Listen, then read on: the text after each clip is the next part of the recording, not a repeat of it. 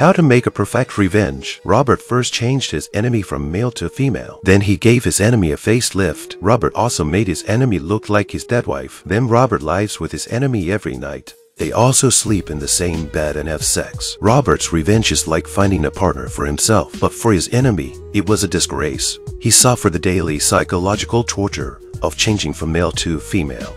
First, he had his male genitalia cut off. Secondly, his rule was destroyed, but why would a strong man be forced to change his sex? It turns out there's a big conspiracy behind it. Robert is a plastic surgeon. He is serious and crazy. Robert first forcibly shaves off his enemy's beard. Then he used anesthetic to put him into a coma. Robert tied him to the operating table with black tape. Shorts is limited in duration. Click on the comments section to see the full episode.